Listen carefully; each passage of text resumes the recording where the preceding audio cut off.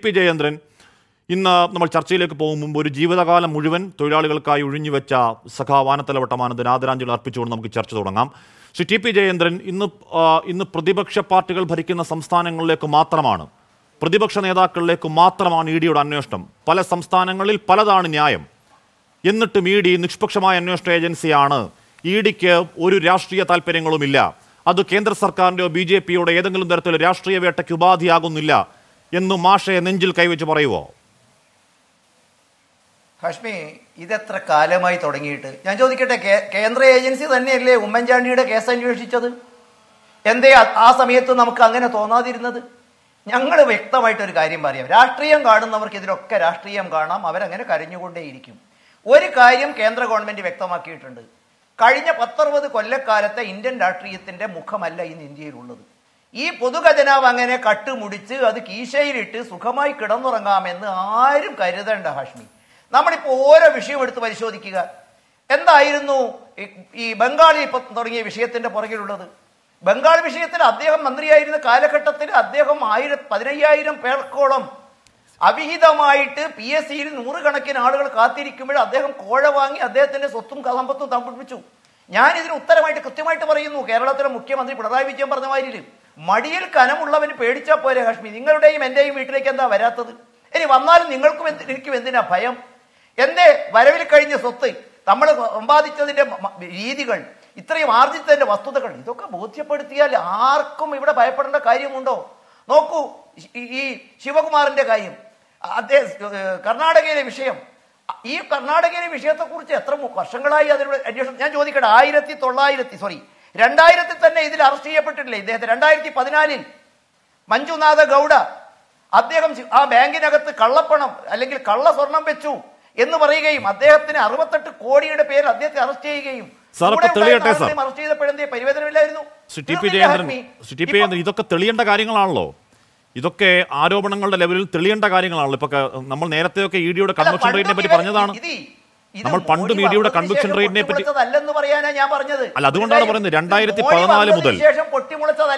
Sir രണ്ടായിരത്തി പതിനഞ്ച് 2015 മുതൽ. സർ രണ്ടായിരത്തി സർ രണ്ടായിരത്തി അഞ്ച് മുതൽ രണ്ടായിരത്തി ഇരുപത്തി മൂന്ന് വരെ രണ്ടായിരത്തി ഇരുപത്തി മൂന്ന് മാർച്ച് ഇരുപത്തി മൂന്ന് വരെയുള്ള പതിനേഴ് വർഷങ്ങളിൽ ഇ ഡി എടുത്ത കേസുകൾ അയ്യായിരത്തി തൊള്ളായിരത്തി ആറ് മൊത്തം ചാർജ് ഷീറ്റ് എത്രയിലാണ്? ആയിരത്തി ഒരുന്നൂറ്റി നാൽപ്പത്തിരണ്ട് കേസ് തീർന്ന എത്രയാണ്? ഇരുപത്തി അഞ്ച് ശിക്ഷിക്കപ്പെട്ട എത്രയാണ്? ഇരുപത്തിനാല്. അയ്യായിരത്തി തൊള്ളായിരത്തി ആറ് കേസുകളിൽ ഇരുപത്തിനാല് കേസുകൾ ശിക്ഷിക്കപ്പെട്ട ഒരു ഏജൻസി എടുത്ത കേസുകളെ പറ്റിയാണ് അങ്ങ് വാചാലനാവുന്നത് ശ്രീ ടി പി ജയേന്ദ്രൻ.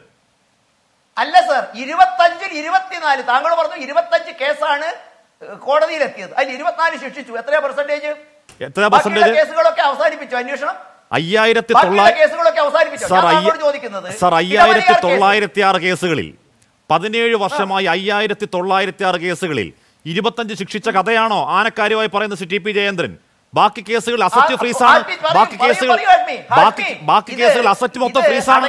ബാക്കി കേസുകൾ ബാക്കി കേസുകൾ മൊത്തം ഈ നേതാക്കൾ ഈ നേതാക്കൾ കാലാകാലങ്ങൾ സംശയത്തിന് നിഴലിലാണ്. നൂറ്റി എത്രയാണ്? നൂറ്റി നൂറ്റി ഇരുപത്തിയൊന്ന് നേതാക്കളിൽ നൂറ്റി പതിനാറ്. പ്രതിപക്ഷ നേതാക്കളാണ്. ബാലകൃഷ്ണപിള്ളയുടെ ഇടമലയാർ കേസ് ശിക്ഷിക്കാൻ എത്ര കാലമെടുത്തു പറയൂ നിങ്ങൾ. ബാലകൃഷ്ണപിള്ളയുടെ ഇടമലയാർ കേസ് ശിക്ഷിക്കാൻ എത്ര വർഷമെടുത്തു?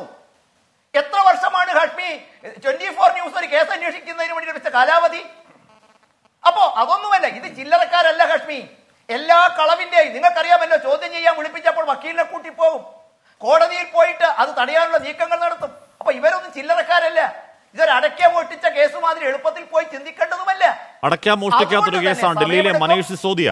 മനീഷ് സിസോദി ഇതുപോലെ കെട്ടിപ്പൊക്കി കൊണ്ടുവന്നൊരു കേസാണ് ഇന്ന് കോടതിയിൽ അദ്ദേഹത്തിന് ജാമ്യ ഹർജി കേൾക്കവേ കോടതി പറഞ്ഞ എന്താണെന്ന് അറിയാവോ your case will fall flat within two minutes during cross examination cross ഇപ്പോ മനീഷ് സിസോ?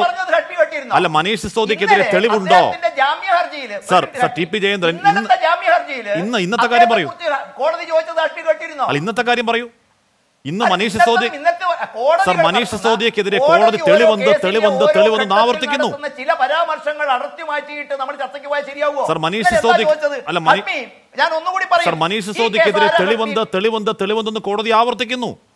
അതിനുശേഷം പറയുന്നു ദാ ഇതാണ് തെളിവുകൾ എന്ന് പറയുമ്പോൾ പറയുന്നു ഇതൊക്കെയാണെങ്കിൽ ഈ സാക്ഷിമൊഴിയാണ് നിങ്ങൾ ആധാരമാക്കുന്നതെങ്കിൽ ക്രോസ് എക്സാമിനേഷൻ സമയത്ത് രണ്ട് മിനിറ്റിൽ പൊട്ടിപ്പൊളിഞ്ഞ് വീഴാവുന്ന വാദങ്ങളാണിവ എന്ന് പറയുന്നത് കോടതിയാണ് സി ടി പി ജയേന്ദ്രൻ സമാനമായ മറ്റൊരു കേസ് നമുക്ക് ഓർമ്മയില്ല? സാക്ഷിമൊഴിയുടെ അടിസ്ഥാനത്തിൽ ഇനിയും കേസിന്റെ വിവരങ്ങൾ കണ്ടുപിടിച്ച് കോടതിയിൽ സമർപ്പിക്കുമ്പോഴാണ് കേസ് അന്വേഷണം പൂർത്തിയാകുന്നത്. നാളെ എത്രയായി സാർ? നിങ്ങൾക്കറിയാമല്ലോ ഇത് കേസ് അന്വേഷണം തുടങ്ങുന്നത് ആദ്യം എല്ലാ തെളിവുകൾ കിട്ടിയിട്ടല്ല. നിങ്ങൾക്കറിയുമോ? ആ സംസ്ഥാനത്തിലെ അവിടുത്തെ ഈ എന്താ പറയാ ഈ ഒരു അവിടെ സംഘടന അതായത് മദ്യ വിൽപ്പനക്കാരുടെ സംഘടന ഹൈക്കോടതിയിൽ പോയി. സംസ്ഥാന സർക്കാർ നഷ്ടമുണ്ടായിട്ടായി ബോധ്യപ്പെട്ടു. ഹജ്മ ഒറ്റ ചോദ്യം ചോദിക്കട്ടെ. ഇത്ര സുന്ദര സുരഭിലമായ ഒരു നിയമമാണെങ്കിൽ എന്തിനത് പിൻവലിച്ചു? സംസ്ഥാനത്തിനുണ്ടായ നഷ്ടം ആര് കൊടുക്കൂ?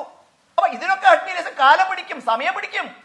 അപ്പൊ ഒരു. സാക്ഷിയുടെ മൊഴിയിൽ ആരംഭിച്ച് സാക്ഷിയുടെ മൊഴിയിൽ തെളിവ് ശേഖരിച്ച് ഇ ഡിയെ പോലെയുള്ള കേന്ദ്ര ഏജൻസികൾ പഴുതടച്ച് കാരണം ചില്ലറക്കാരല്ല ഇവരൊന്നും. അയ്യായിരത്തി തൊള്ളായിരത്തി ആറ് കേസുകളിൽ ഇരുപത്തെട്ടിലാണ് പഴുതടക്കൽ. അയ്യായിരത്തി തൊള്ളായിരത്തി ആറ് കേസുകളിൽ ഇരുപത്തെട്ടിലാണ് പഴുതടക്കൽ. സി ടി പി ഏന്ദ്രൻ. ഓർക്കണം ഇരുപത്തഞ്ചിൽ ഇരുപത്തിനാല് ശിക്ഷിക്കപ്പെട്ടു എന്ന് പറയുമ്പോൾ. ഇരുപത്തഞ്ചിൽ ഇരുപത്തിനാല് ശിക്ഷിക്കപ്പെട്ടു എന്ന് പറയുന്നത് കണ്ണിൽ പൊടിയിടലാണ്. സാർ അയ്യായിരത്തി കേരളത്തിൽ നടക്കുന്ന കേസ് പോലെയല്ല ഇ ഡി കേസ്. പണ്ട് ഹാഷ്മി പണ്ട് ഈ കള്ളപ്പണക്കാർക്കൊക്കെ സുഖമായിട്ട് നിയമത്തിന്റെ പഴുത് വെച്ച് രക്ഷപ്പെടാനുള്ള അവസരം ഉണ്ടായിരുന്നു. ഇനി ഒറ്റ ചോദ്യം ഞാൻ ചോദിക്കട്ടെ ഈ ഇ ഡി എന്ന് പറയുന്ന സംവിധാനത്തെ ആരാണ് രൂപം കൊടുത്തത്? അതൊക്കെ അതൊക്കെ ശരി, ശരി, അതൊക്കെ ശരി, അതൊക്കെ ശരി. അല്ല, അതൊക്കെ ശരിയാണ്. അതൊക്കെ ശരിയാണ്. അതിന് കടുപ്പം പോരാഞ്ഞിട്ട് ഒന്നുകൂടി കളിക്കാം അതിന് കടുപ്പം പോരാഞ്ഞിട്ട് ഒന്നാം യു പി എ രണ്ടായിരത്തി എട്ടിൽ വരിഞ്ഞു മുറുക്കി. അന്ന് ഇടതുപക്ഷം അതിന്റെ കൂടെയാണ്. അവർക്ക് യാതൊരു എതിർപ്പുണ്ടായിരുന്നില്ല രണ്ടായിരത്തി പന്ത്രണ്ടിൽ രണ്ടാമത്തെ യു പി എ ഇത് കുറച്ചും കൂടി കടുപ്പം വേണം എന്ന് പറഞ്ഞുകൊണ്ട് ബി ജെ പി അതിനകത്ത് വെള്ളം ചേർന്നില്ല. ഞാൻ എന്റെ ചോദ്യം ഈ കള്ളപ്പണത്തെ കുറിച്ച് അന്വേഷിക്കാൻ രാജ്യത്തുള്ള പോലീസ് സംവിധാനം വന്നായിരുന്നെങ്കിൽ എന്തിന് അറുപത്തേഴ് ഇ ഡി ഉണ്ടാക്കി? എന്തിന് രണ്ടായിരത്തി എട്ടിൽ അതും കൂടി കടുപ്പം കൂട്ടി? അതും പോരാ രണ്ടായിരത്തി പന്ത്രണ്ടിൽ എന്ന് വെച്ചു. ഒരു പ്രശ്നമില്ല സാർ, ഒരു പ്രശ്നമില്ല. നമ്മൾ- പറഞ്ഞ ഇ ഡിയെ പറ്റിയല്ല നമ്മൾ. നമ്മൾ പറഞ്ഞ ഇ ഡി അല്ല നമ്മൾ പറഞ്ഞ ഇ ഡി സർ സാർ നമ്മൾ പറഞ്ഞ ഇ ഡിയെ പറ്റിയല്ല. ഇ ഡിയുടെ അന്വേഷണ പരിധിയെ കുറിച്ചുമല്ല. അന്വേഷണ ഏജൻസികൾ വരും. ഈ ഇ ഡിയുടെ അന്വേഷണ നോട്ടം പ്രതിപക്ഷ നേതാക്കളിലേക്ക് മാത്രം എന്തുകൊണ്ട് നീളുന്നു എന്നതേ ഉള്ളൂ ചോദ്യം.